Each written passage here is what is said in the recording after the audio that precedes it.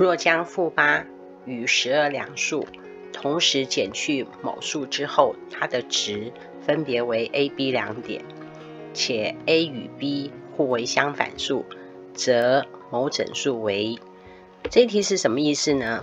它是说有两个数目字负八和十二同时减，意思是说负八和十二同时减掉一个数目字，减掉一个数目字。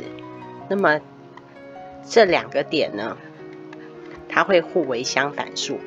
我之前是不是有跟各位提到，相反数相加等于零？意思是说，这个 A 点跟这个 B 点互为相反数，代表它们两个相加会等于零。负八加十二是四，四减掉两个框框是零，四呢就会等于两个框框，所以框框就会等于二。